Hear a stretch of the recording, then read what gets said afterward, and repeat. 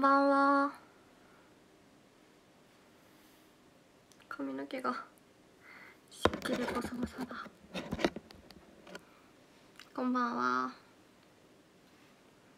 ちょっと画角をいつもと反対の方にしたんですけど。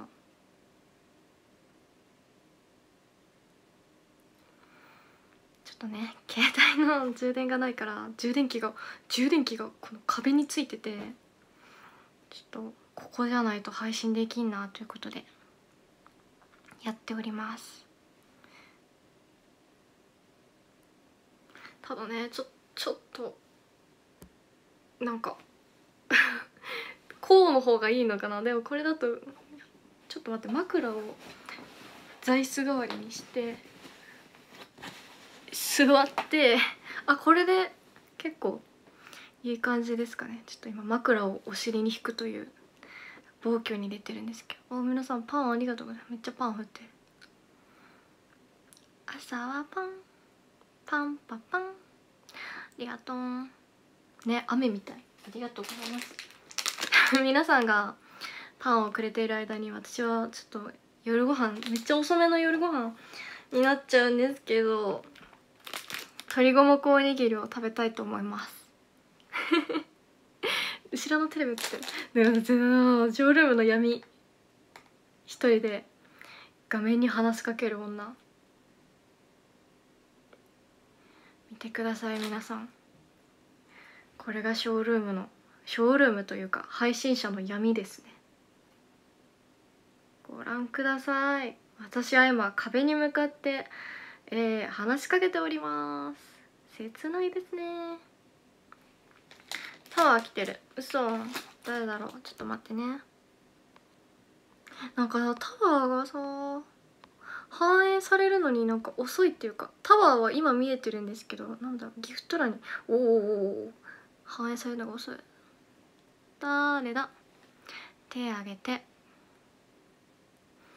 タワー投げた人手挙げて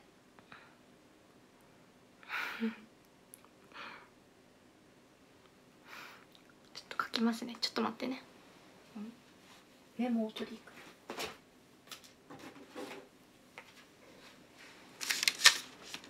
うわこれホテルの人昨日のタワーの紙そのまま置いてくれてる。めっちゃ恥ずかしい。いやわ私は恥ずかしくないけどなんかちょっと。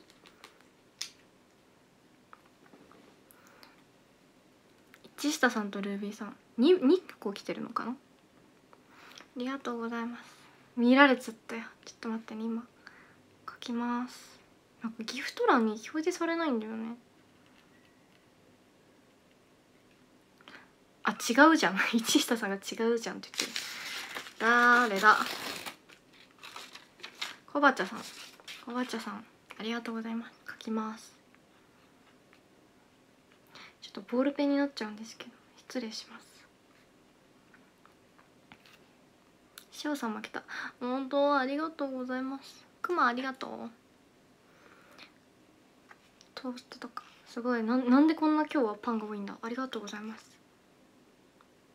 えっ、と。パンタワー。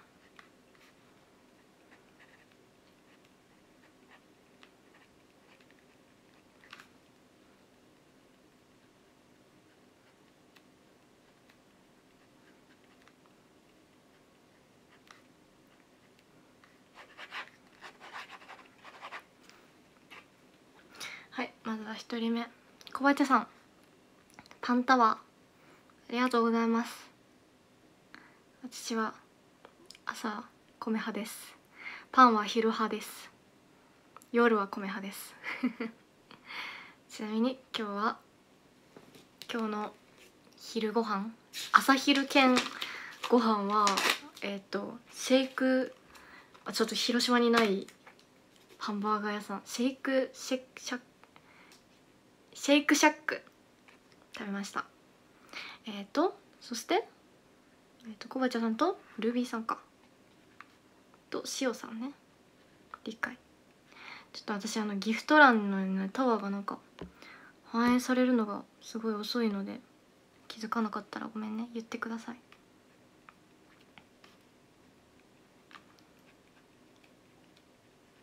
お腹すいた本当に。みんながパンを見せてくるから。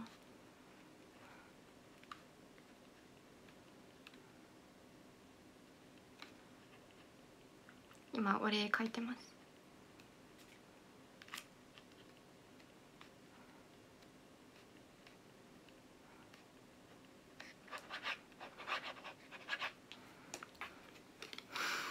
とりあえずルビーさんありがとうございます。なんかボケてる？大丈夫か？パンタワーありがとうございます。そしてしおさん。パンの雨ありがとう。かわいい配信です今日は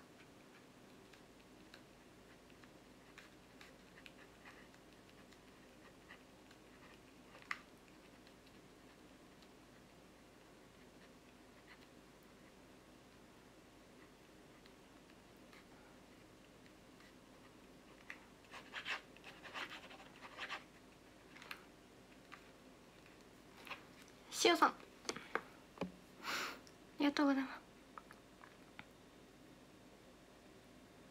亀パンタワー？本当？事実確認。ありがとうございます。マジでなんかね遅いっていうか。タワーがギフト欄に表示されないこの画面には表示されるんだけど。どうなんだろう。ちょっとそうだよって言われたら書くね。ありがとうございます。まあ皆さんが投げてくれるパンをおかずにご飯でも食べようかな。い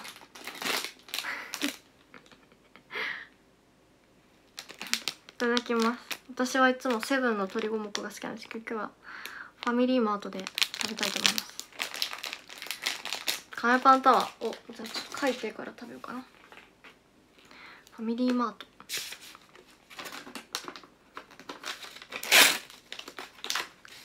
ありがとう。今日食べるなんか食べる時間があんまなかった。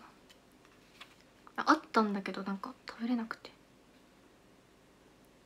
とちょっと待ってね。ありがとう皆さん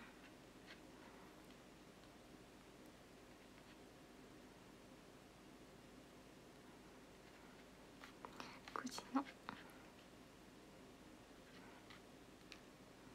あよ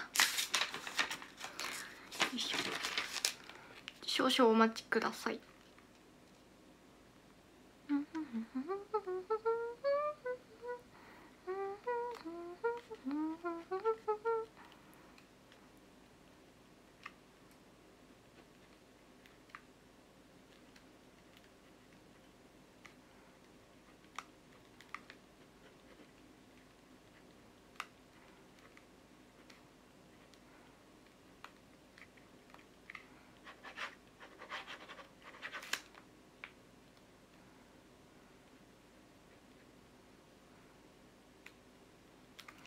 しょ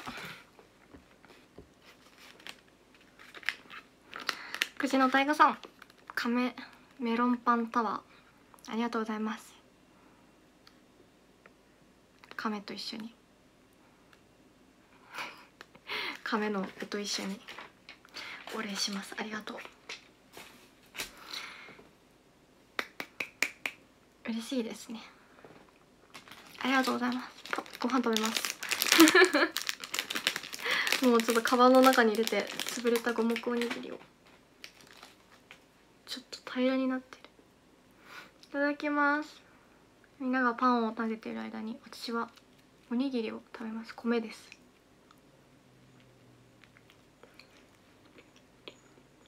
うん。うんふん。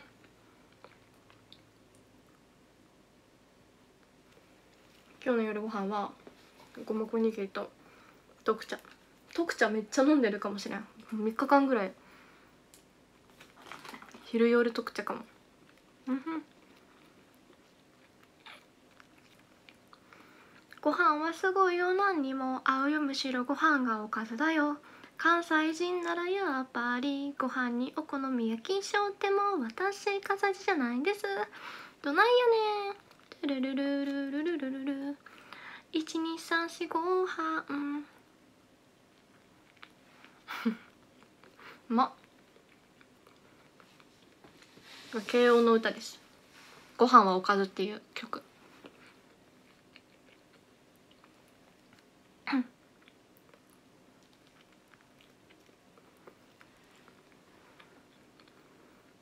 っていう特茶ブーム？え？特茶ブームあるんですか？でもみちゅさん確かに特茶飲んでるかも。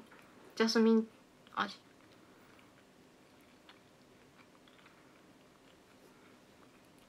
美味しい。ちょっとご飯食べたら雑談しようと思うんですけどご飯食べるまで雑談ができない。あーあれかシール貼るっていう話昨日したからか楽屋に。でもねシール貼ってたのは結構前の話だから今ブームが来てるわけではない。奈々さんめっちゃ特茶好きなんだ。うん。でもなんかいいよね。体に良さそうな気がする。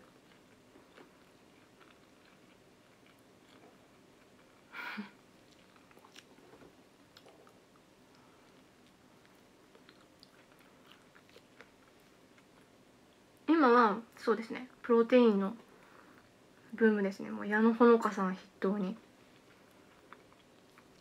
矢野ほのかさん門脇美優奈さんを筆頭に結構飲んでますね。ふーさんとかみちゅさんとかひなさんとかあと私買ってるかも。でも公演終わりにスピード勝負でプロテインを飲めって言ったのはほのたんさん。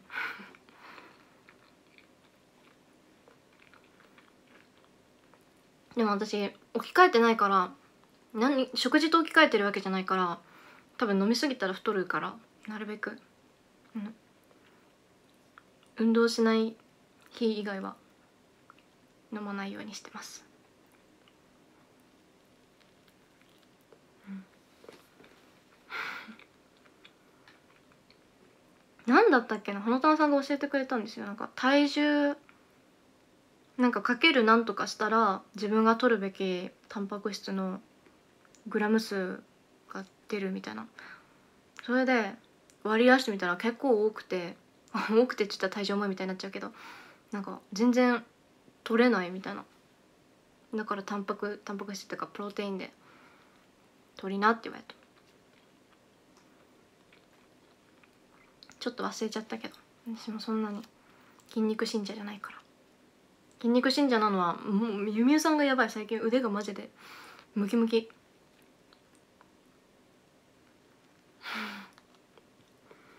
こうやった時の筋肉がすごかったこの間。あのロリフェイスに隠れて。いつか多分あの筋肉アイドルのあの方みたいになると思う。佐伯レイ佐伯レイカさんだっけ？本当になりそう。あのプロレスラーアイドルの方。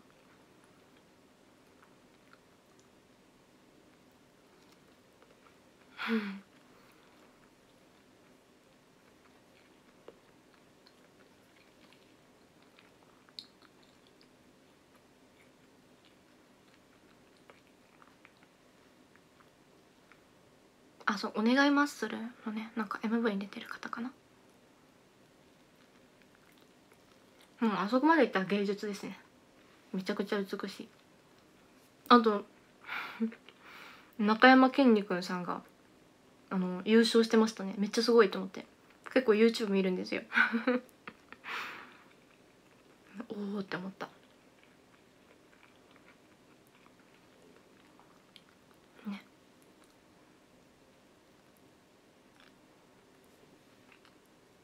なんかマッチョが好きとかなんかどうこうっていう前になんか自分の体をそこまでこう美しく鍛え上げられるのがすごいなって思います。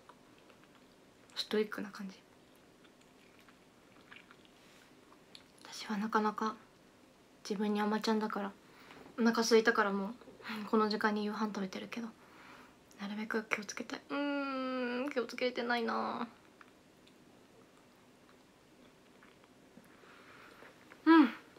うん。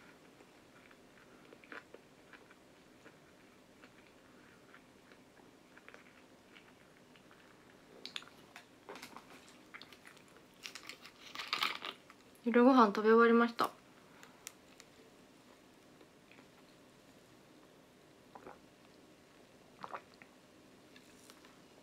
あうんふん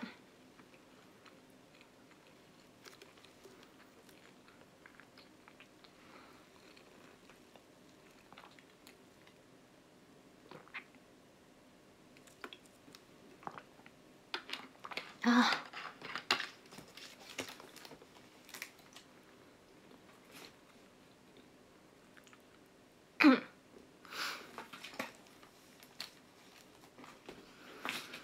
今日はねなんか今すっごいバカっぽい喋り方だった。ちょっと。お茶飲んだばっかりで喉が発生しない。今日はね 今日はあの 小屋入りしてきました。劇場に入ってあの舞台のね「スペースゼロ」国民共済ホールだっけ？新宿の。劇場に入って今日はもうずっと場当たりだったんですよ。その照明さんとか音響さんとかと合わせる。ででも私はなんかその日の場当たりが私が出ない日の場当たりだったからもうずっとみっちょさんと見学だったんですよ。だからもうねすんごいもう腰が椅子座って見てて何時間？2時半から9時半ぐらいまでずっと座って見ててまあでもそれはすごい勉強になったんですけどなんかキャストの演技を見るっていうよりはもう音響さんとか照明さんのなんかあのこう合わせるシーンをずっと見ててなんかすごいなと思ってこんな。いや公演の時もねなんか公演っていうか自分たちがやってるアイドルの時は結構セルアメをほんと細かく細かく場当たりするんですけどなんだろう。普通のこう僕恋公演とかの初日の時ってもう勝手になんか自分らが踊ってる動画を音響さん照明さんにあのもう動画で送っててでもう勝手に作ってくださってて照明とか。でまあリハーサルで合わせて、まあ、絶対になんかこうなんていうの一人だけ目立つようなサスとかはちょっとだけ繰り返してやってで本番みたいな。なんかあんまりこう自分たちの公演で音響さん照明さんの合わせをなんかしたことがなくてセルアミ以外。だから舞台って多分めっちゃ細かいから人が動くし出はけとかもなんか全部あるから全部その合わせをやってて見てて私あの高校生の時にあの舞台女優になれなかったら音響さん照明さんでもいいなと思ってたからすごいあの広島の専門学校のなんかワークショップワークショップじゃないなんて言うんだっけあの見学みたいな行ったことがあっててもしかしたらこういう道もあったのかなでも絶対無理だなと思った。細かい作業できない。もう本当に尊敬。めちゃくちゃ。あオープンキャンパスだ。ワークショップって。そうそうそうそう。いや本当にね。尊敬しますよあんないっぱい。ね。いやすごいと思うよ。キャストよりもなんか神経使いそうだなって思った。ね。だからもう私はあのそれを見て学んだのは公園で絶対立ち位置を間違えないようにしようって思った。あの自分たちがやってる僕恋公園とかのね。だってねせっかく作ってくれてるのに照明とかを。間違えたらダメだと思って。セル編みもだけど間違えないようにしようと思った。ちゃんと番号に立とう。って思いましたね。明日はゲネプロがあって明後日もゲネプロがあってでも明後日は見学かな？自分が出ない日のゲネプロで明日は自分が出るから今日一回も私演技してないんですよだから。ずっと見ててあでもなんかすごいやっぱダブルキャストの方の演技見てあなんか全然自分と違うしめちゃくちゃうまいなって本当にお上まあ本職の方だからね。お上手だなって思いながら見てて。うん。勉強になりつつなんかプレッシャーになりつつみたいな。すごいあのあれですね。うん。頑張ろうって思いました。頑張って頑張ります。ありがとう。ございます。うん。なかなか難しい。そう。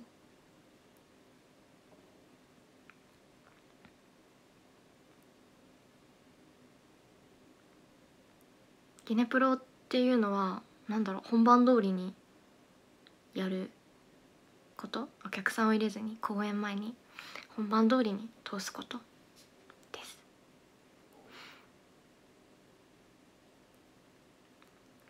何の略かはちょっと分かんないんだけど、うん、達成しましたね。おあれか。お皿のやつか。達成したらしい。ありがとう。うん。下唇大丈夫？なんか消えてるんだよね。乾燥かね？湿気すごいけど。春のパン祭り。もう梅雨。梅雨入りした春のパン祭り。ありがとうございます。記念にちょっと明日はパンを食べようと思います。ありがとう。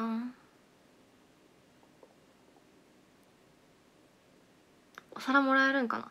えー、どうしよう。じゃあそのもらったお皿でお肉食べようかな。この間のなんか海そ海の幸山の幸のイベント。うん。まあちょっと順番によるけど。ユニクはまだ届いてない。いつ届くかな。届いたらあのショールームで食べようと思います。すき焼きとかにして。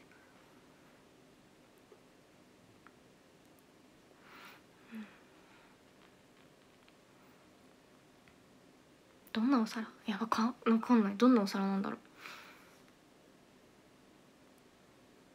う？まあでもショールームのお皿だよね。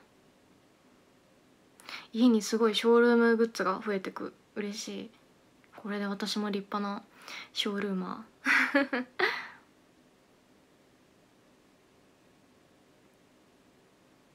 うんあ熊の熊のお皿。なるほどね。あれか。これか。例のクマか。ありがとうございます。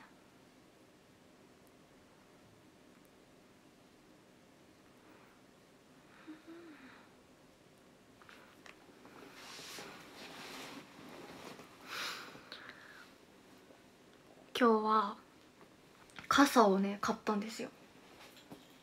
私すごいあの今日なんか東京めちゃくちゃ雨降ってて。広島もか。多分広島も降ってると思うんですけどすんごくて雨がもう。困ってて。一応広島からね傘持ってきたんですよ。あの私がこの間結構前から言ってるあのなんて言うんだろう。すごいコンビニで買った折りたたみ傘。もう課長クラスのさいかつい傘。900円の。でもやっぱなんかすごい可愛くなくて。で日傘も欲しかったんですよ。この子この夏日傘もいるなと思ってそしたらあの晴れ雨兼用傘があったんで買いました。フランフランで。女の子女の子らしいでしょ？したらね思ったより日傘寄りっていうかまあ当たり前なんだけどちっちゃくて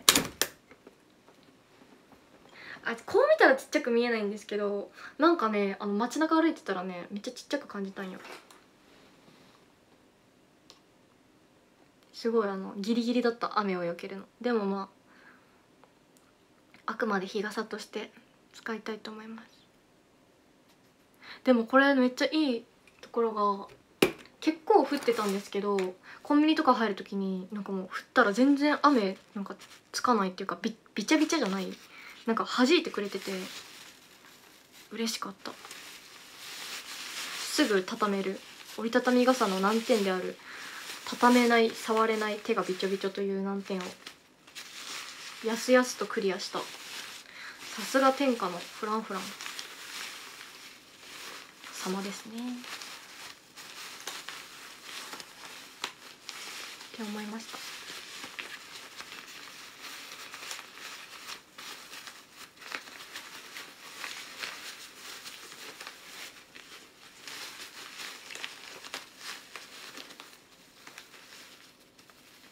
おいくら？いくらだったかな？でもあの黒い傘よりちょっと高かったかも。フランフランってちょっとやっぱいいものだけど高いよね。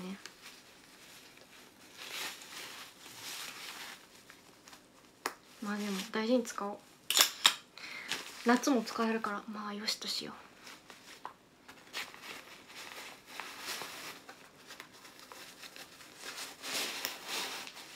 新しい傘が買えたことをご報告いたします。みちょさんとね買いに行ってね。みちさんも可愛い傘買ってた。でも傘買った後になんかこの買ったばっかりの傘を使うのかと思ってすごい切なくなった。まあ傘だから使わないとあれなんですけど。傘の意味をなさないんですけど。ちょっとここに時計を置いて見やすくしよう。今ね湿度が60あ違うわ。あ60%ですね湿度。部屋の湿度みちさんも傘買ってた。みちさんねめっちゃ可愛い傘買ってた。5,000円？5,000円もしないけど。傘に5,000円はちょっと出せないかも。課長傘課長傘はねあのカバンの中に入れてます。結構ガチめなもうやべえぐらいの雨が降ったら課長傘を使おうと思って。今はねまあささやかな雨ぐらいだったらこの日傘で十分大丈夫なので。やっております。一応ね11時半まあ1時間ぐらいやったら終わろうかな昨日と一緒で。明日が朝早いんごもう切れるかな？ここは。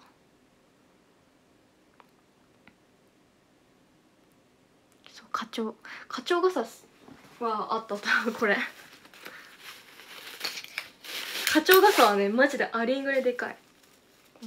セブンで買った。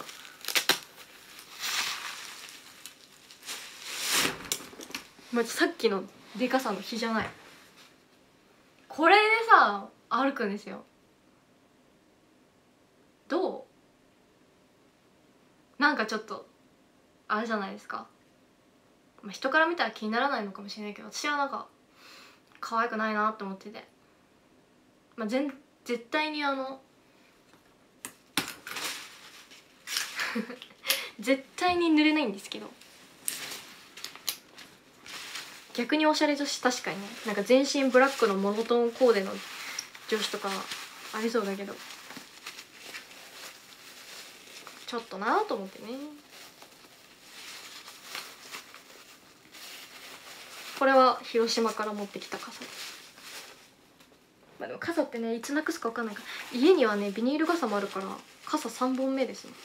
しかもたまにプレゼントで傘もらうからなんか45本ぐらいはあるんですよ。多分4本ぐらいはあるんだけどなんか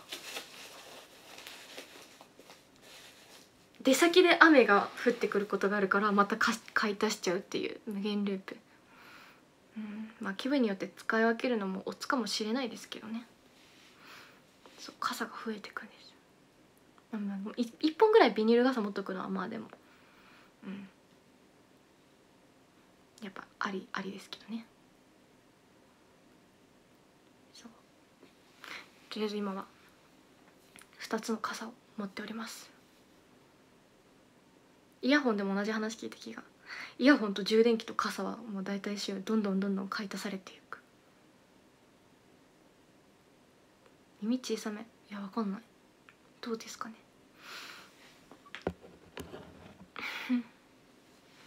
そうなんですよ。でもなるべくこのこの花鳥傘とこのフランフランで買った傘は合わせて3,000円ぐらいするからちょっとなんかあんまなくしたくないな。私傘って500円ぐらいでいいと思うよね。わかんない。相場がわかんないけど。なんかビニール傘とかねもう100均ので十分だと思うんだけども。ちょっと日傘はねちょっと慎重に選んだから。あれだけど。なるべくなくさないようにしよう。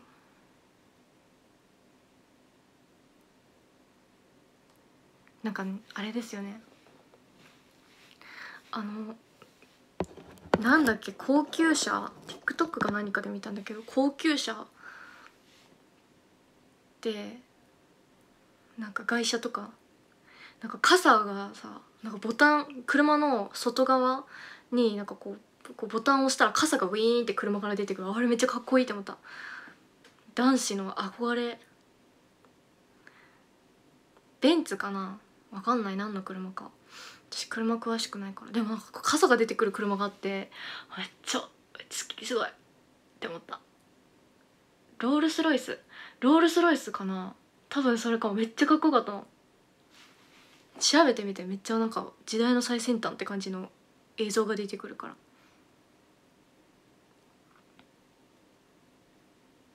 そうなんかあの 傘本当にあの傘。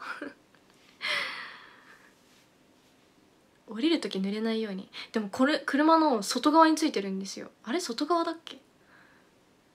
うん。ドアの辺の。一回出ないと濡れそう。でもかっこよかったなんかその車から何かが出てくるっていうのがかっこよかった。ウィーンって。出てきます。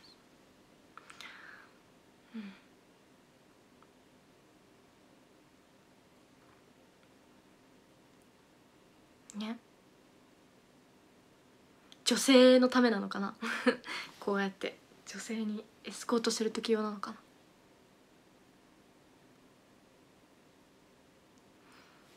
うん。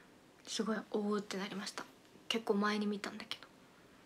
その傘がこんな感じ。黒い傘。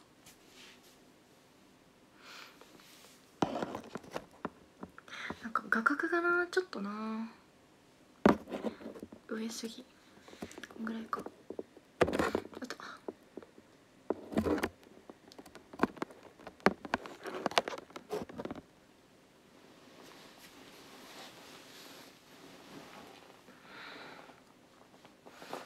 そうなんですよ。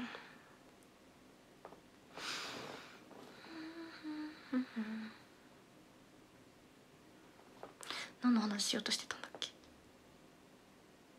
もう一個なんか話そうって思ってたんですけど忘れちゃった。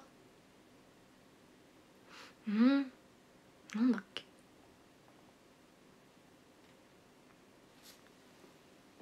なんだっけ忘れちゃったよ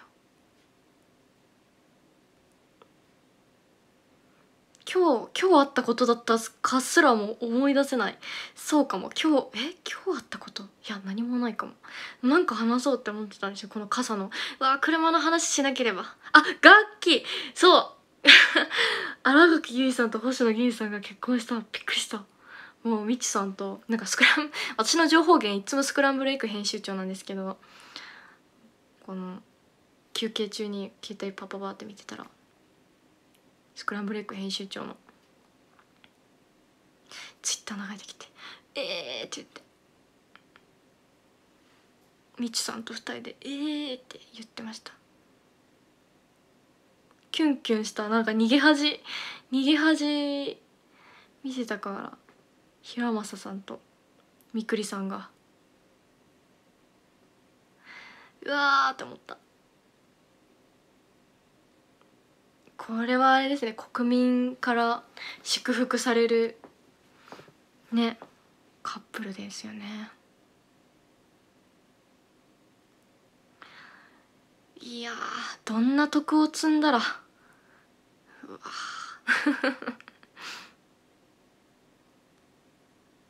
ねびっくりしました。胸の中にあるもの。いつか見えなくなるもの。恋をしたのあなたと。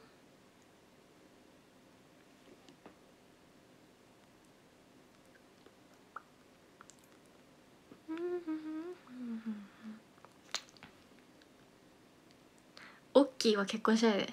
オッキーって。結構な。願望はないんですけどね。うん。うなんだろう。なんか将来はマジであのうちの犬のマメタと幸せに暮らしてたい。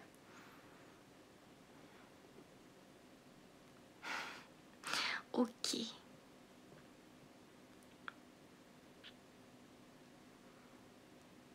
結婚できるかな？えー、どうだろう。私人嫌いだからな。人と一緒に住むってなかなか。耐えにくいな。なんだっけななんかお母さんから LINE でお母さんからこの間 LINE が来てあ公演公演を見に来てくれた時があったんですけど宇野港の。宇野港の公演が終わった後になんか公演良かったよってお布団と友達だった頃のゆうちゃんはもういないねみたいなの送られてきてなんか若干のディスが入ってたんですけど。うん。マジで自分の部屋から出たくない？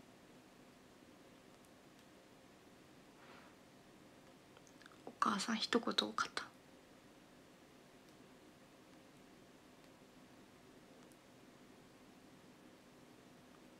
ディスでない？本当？自宅で熱中症になってた頃。家の中にいるのに熱中症になる熱中症じゃない？あれなんか栄養栄養も取れてなかった。私。全然あのネグレスト？ネグレクトとかじゃないんだけど。部屋に引きこもりすぎて。しかもあの熱中症と栄養不足で。病院に運ばれるっていう。そうなんかもうずっと寝てました。まあご飯食べるのもめんどくさいし外に出るのもダメで。でもなんか中学生の時はそんな感じだったんですけど高校の時はバイトしてたからバイトしたらね、まあ、動くんでね。そういうことはなくなりましたけど、うん、怒られましたねお母さんに。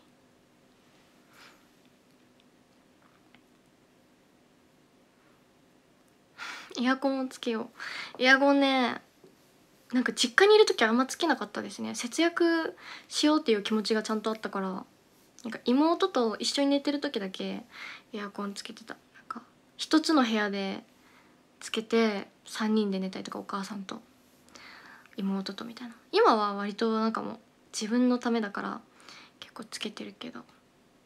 もうしかも今現在はホテルにいるからもうずっとつけてるけど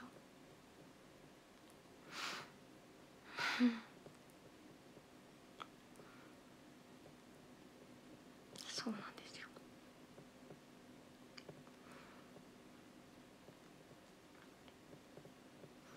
家ではね割と好き勝手に生活してます。自分一人だと。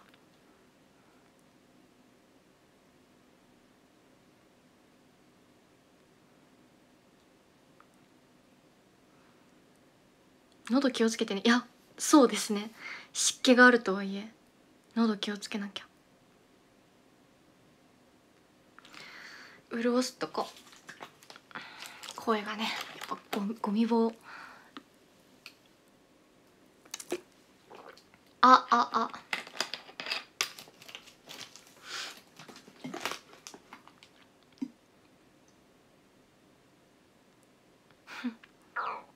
めっちゃ喉鳴った。キューって言った。聞こえたね今。絶対。鳴らそうと思って鳴らしたわけじゃない。開いてあったの。びっくりした。キューって。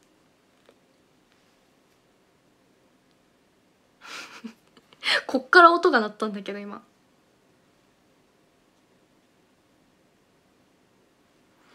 鳴き声が。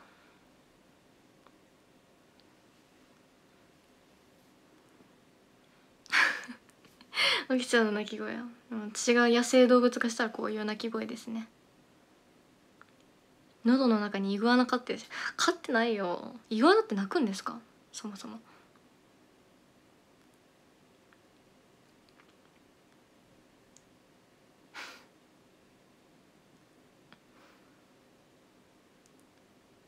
カエルみたいだったね確かに「カエルの歌が聞こえてくるよ」が「ががが。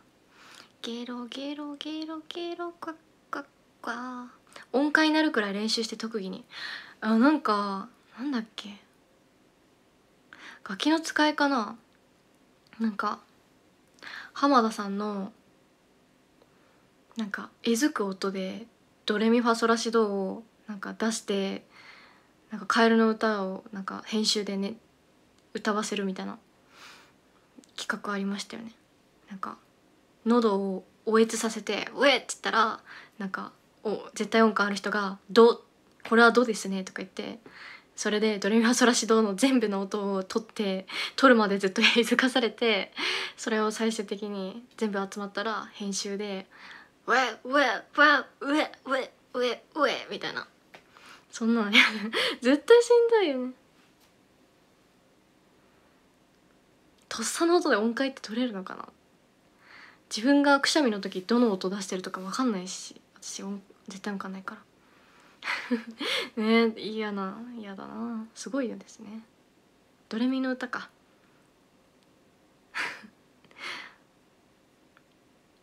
その音出そうと思ってえずけないですね。うおみたいな。すごいな。TOKIO は動物の鳴き声で空船作ってた動物の鳴き声？なんか意外と良さそう。動物の鳴き声。でも鳴く動物？あもういっぱいいるか。低温だと肉食獣で高温だと鳥とか。すごい面白そう。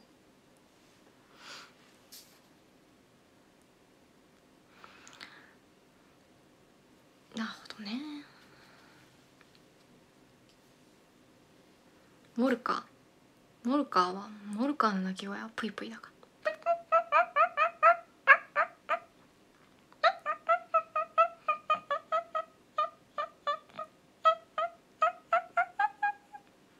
これはモルモットの鳴き方。もっとこれの機械機械音みたいな。みたいな。カワウソもねめっちゃ鳴く。あのカワウソめっちゃうるさい。みたいな。絶対カワウソ飼えない。可愛いけどね。可愛いし飼ってる人がいるのも理解できるがあんな一日中流れたら大変だ。まあでもそれが可愛いのかもね。甘えてるみたいで。でも見ちゃう。カワウソ動画。可愛いから。カワウソ泣くよめっちゃあカワウソめっちゃ可愛いですよ。なんか人間に近い甘え方をしてるみたいな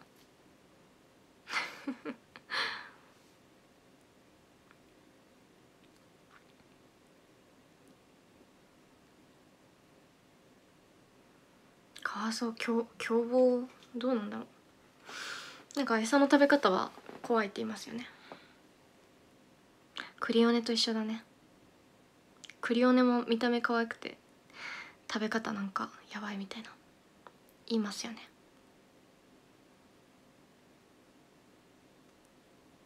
ねらしいよね。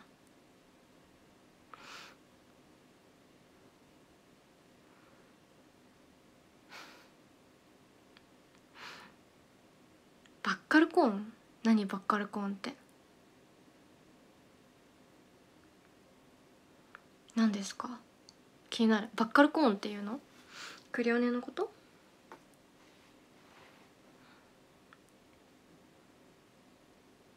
聞いたことのない単語が出てきた。なんぞや。教えてグーグル先生。バッカルコーンっていう食べ方？食べ方の名前なの？うんちょっと調べてみたいと思います。頭が割れるから。クリオネが捕食する時に出す触手。クリオネ触手あるんだね。クリオネの触手の名前。触手。触手ってなんかすごいね。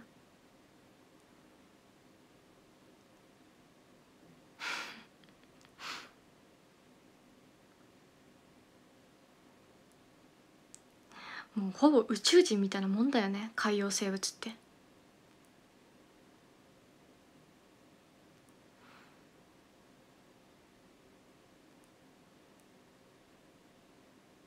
エイリアン。うん。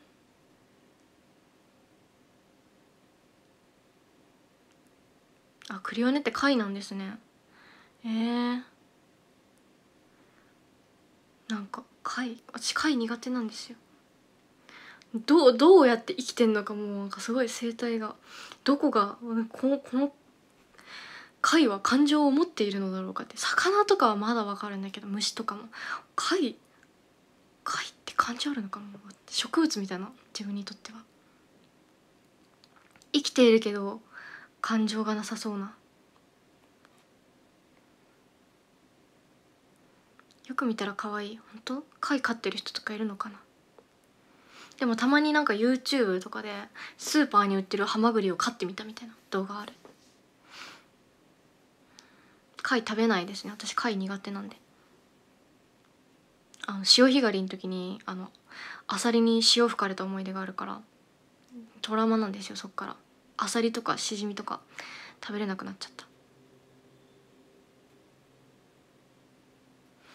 なんかバケツの中に入れたアサリたちがピューって水を吹いたのが私の目の前で水を吹き吹いてそれがもう怖すぎて幼稚園ぐらい小学校上がる前とかかな。本当に今でもその光景が頭に浮かぶぐらい病んでるんですよね。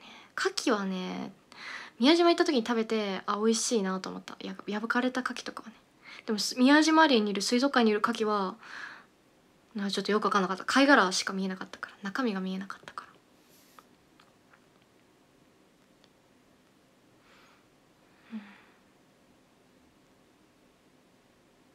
ら、あんまり得意じゃないかな。まあでも北海道で食べたホタテバター醤油のホタテは美味しかったかな。うん。でも多分生のホタテとかは無理だと思う。サザエとか食べたことないんですよ。挑戦なんか全然できなくて。食べようっていう気持ちも今んとこない。まあいつか。サザエもアワビも食べたことない。貝が本当にあんま得意じゃない。まあいつか。ねなんか、まあ、人生もったいないなってよく言うじゃないですか。食わず嫌い。私だから人生に1回ぐらいは食べたいなとは思うんですけど。うん。なかなかちょっと苦手ですね。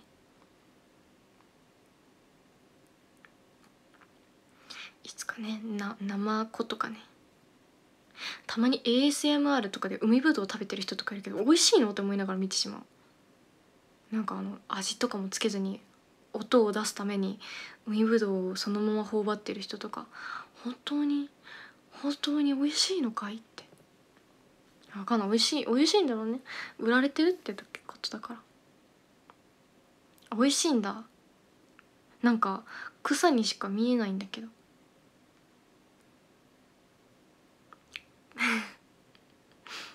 食感か。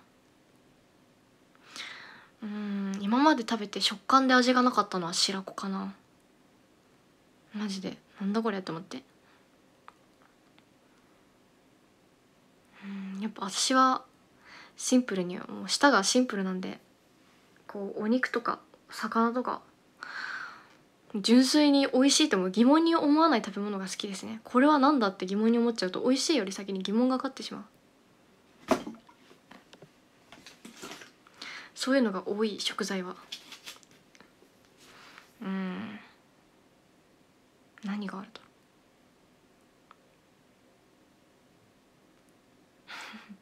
う。でも割と多いですね。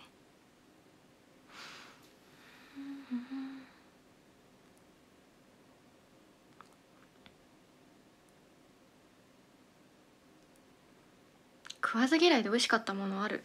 食わず嫌いで美味しかったものか。うん。なんですかね。大人になって味覚が大人になったから仕方なく食べれるようになったものは結構あるけど食わず嫌いで美味しかった。なんだでも本当に一番古い記憶の食わず嫌いって私マグロだったんですよ。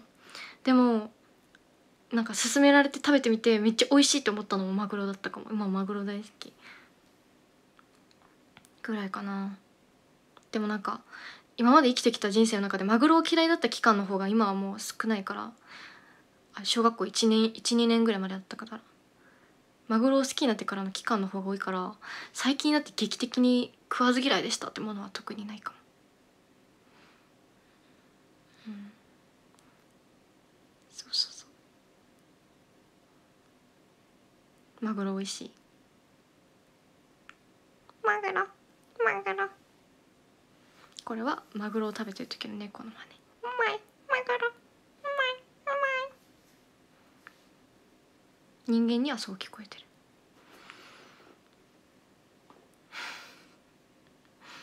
食べれるものが多いに越したことはない。いや本当ですよ。食わず嫌いないが一番だから。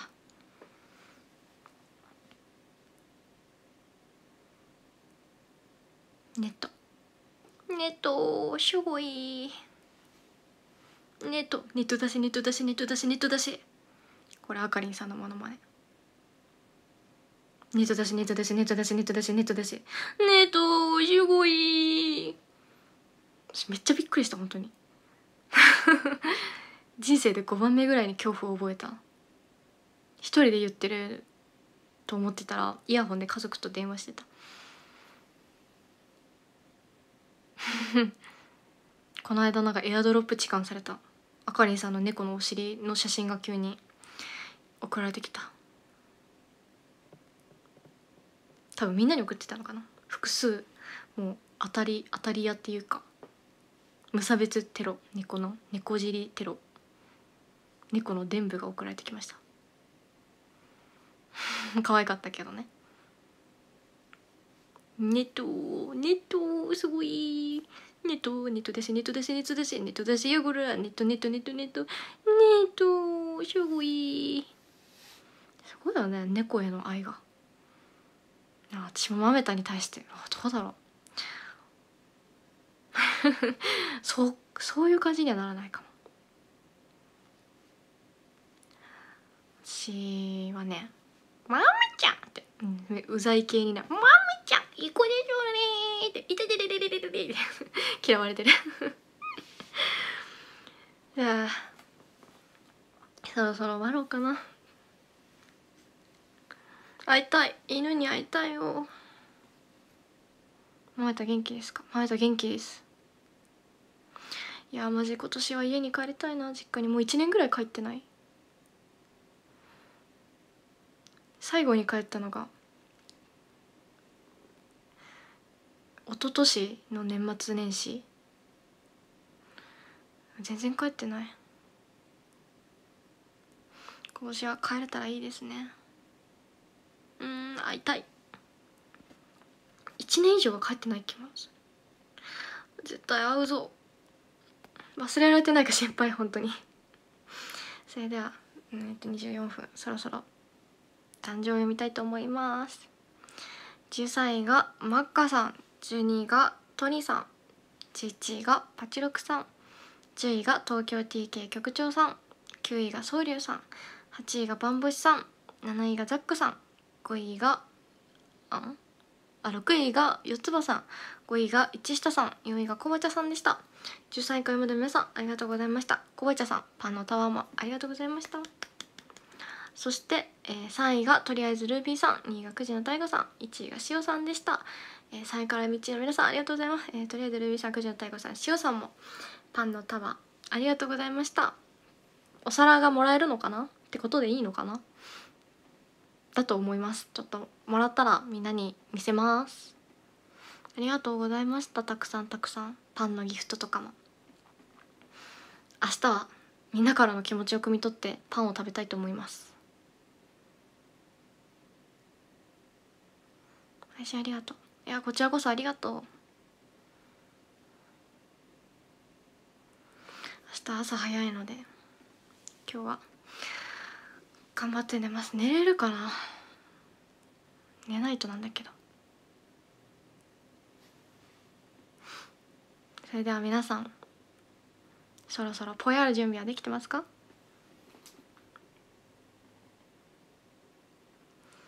朝配信する。えー、どうだろう。朝配信はしないかも。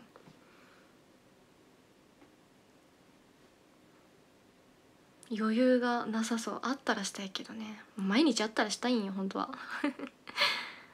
それでは皆さん行きます。せーの。ぽやすみぽやぽや。ありがとうございました。今日見てくださってありがとうございました。というわけ。でそろそろ眠りたいと思います。ぽやではまた会いましょう。ショールームで。それでは 会いたいと思います。ありがとう。